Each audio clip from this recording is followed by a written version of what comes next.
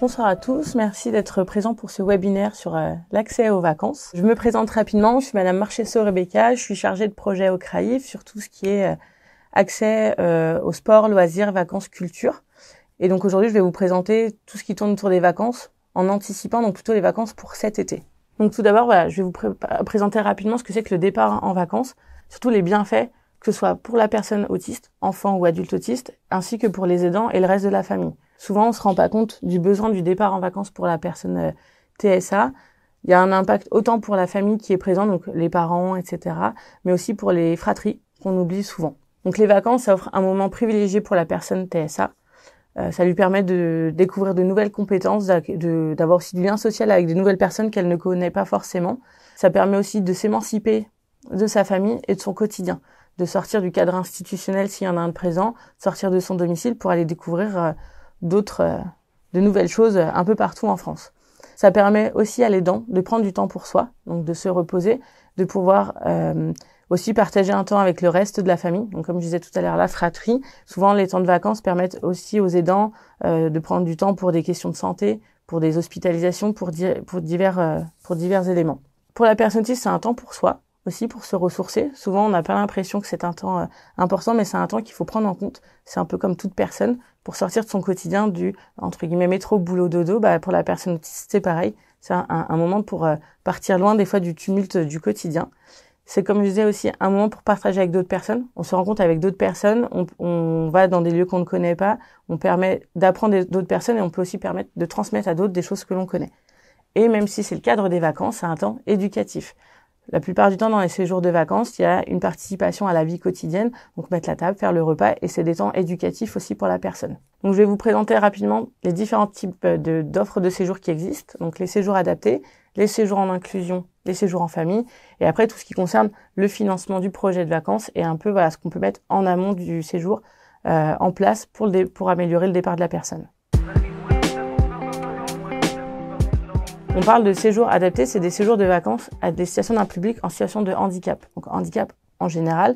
Aujourd'hui, les informations que je vais vous donner sont plus tournées vers l'autisme, mais peuvent être dupliquées pour d'autres types de handicap aussi. Elles sont dites adaptées parce que les séjours sont conçus en prenant en compte le besoin de la personne, ses capacités, ses possibilités.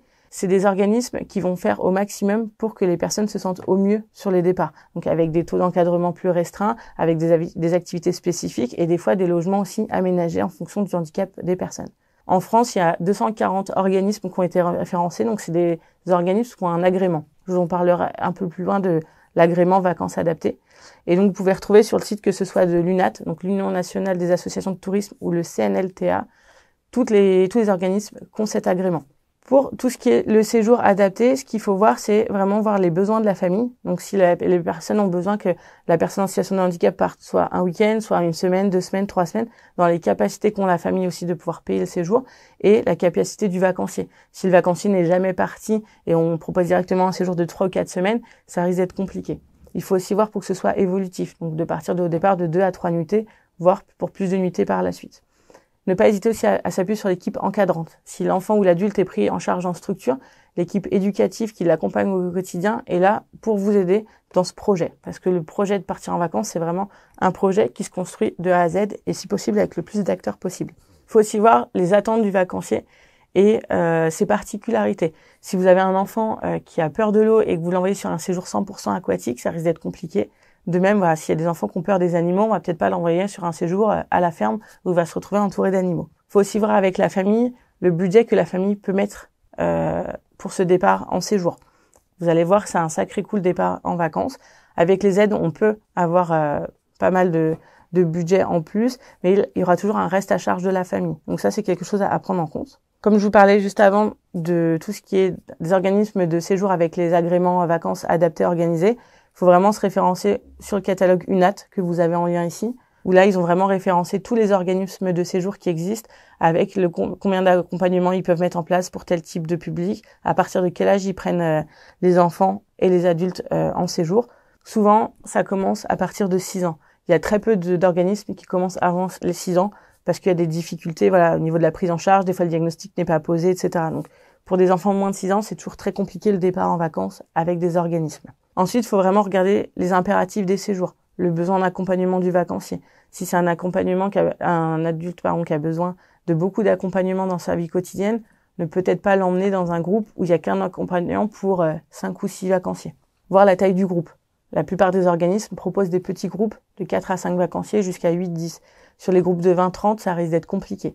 Ça se fait de moins en moins, mais il y a encore certains organismes qui proposent des gros groupes. Donc ce que je disais, le taux d'encadrement, le type d'hébergement.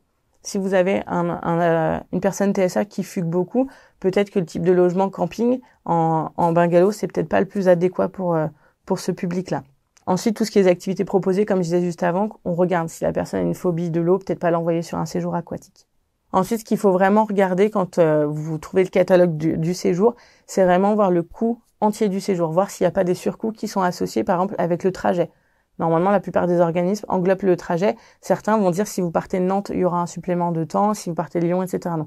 Vraiment calculer le coût global du séjour pour pas au dernier moment se retrouver à dépenser 150 voire 200 euros pour euh, tout ce qui est trajet en plus.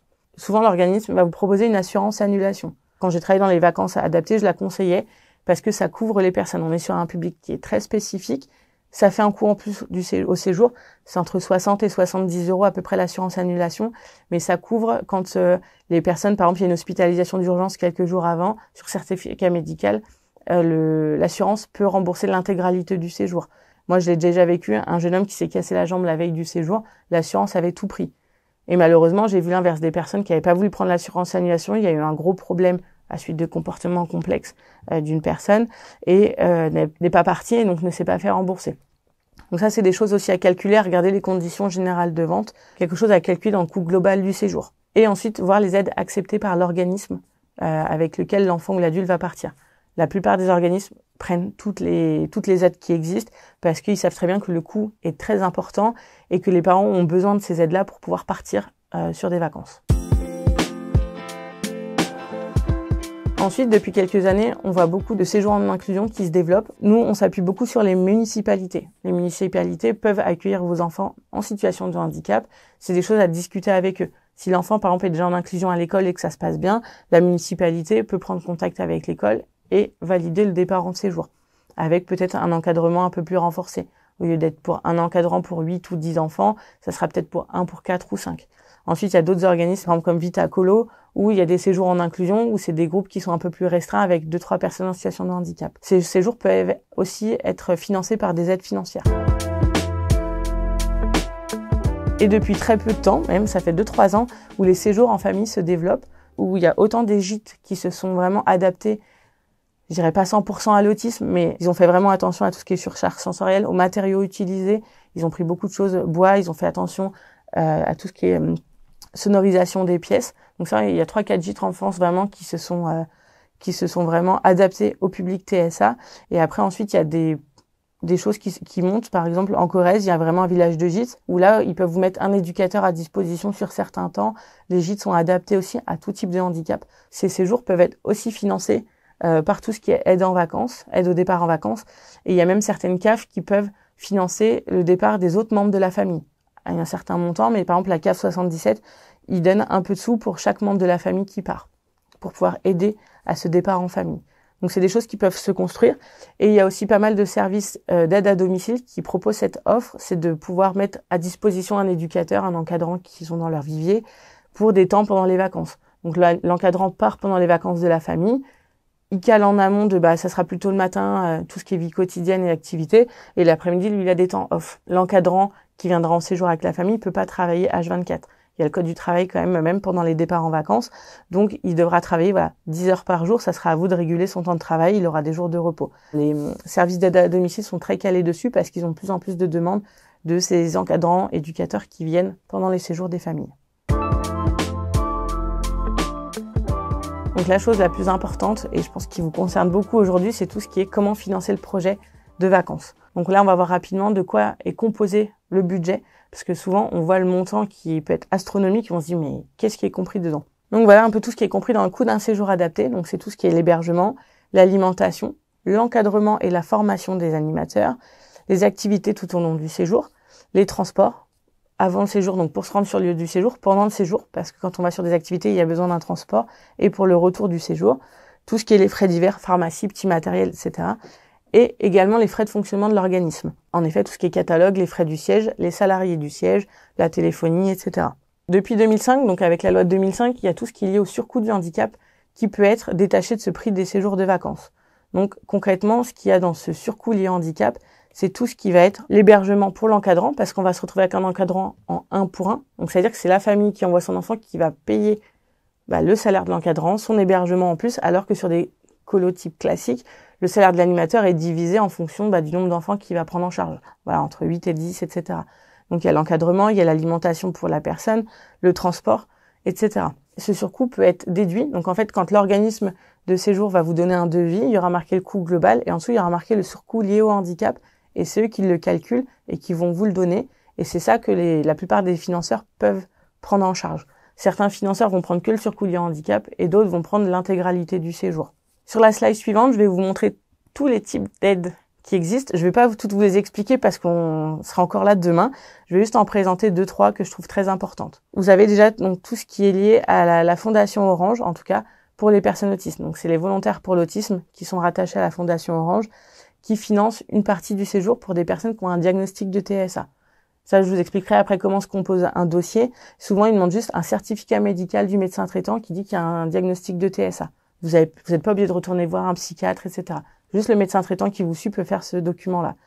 Et eux, ils prennent en charge entre 10 et 20% du départ en séjour. Quasiment toutes les aides présentes sur cette slide peuvent être cumulées. Donc, c'est-à-dire, vous pouvez faire plusieurs dossiers. Il faut pas répondre à, chaque euh, comment financeur parce que vous pourrez pas euh, avoir toutes les aides possibles, mais en sélectionner deux trois en fonction de votre euh, situation. par exemple, si vous êtes salarié d'une grande entreprise, vous avez un comité d'entreprise qui peut vous aider au départ en séjour que ce soit pour des enfants neurotypiques ou des enfants en situation de handicap. Il faut pas hésiter à interroger les comités d'entreprise. Donc ça peut être une partie le comité d'entreprise, une partie la fondation Orange, et par exemple il y a l'ALEFPA euh, qui peut prendre aussi le complément. Juste l'ALEFPA, c'est une association qui prend en charge que s'il y a déjà un cofinanceur.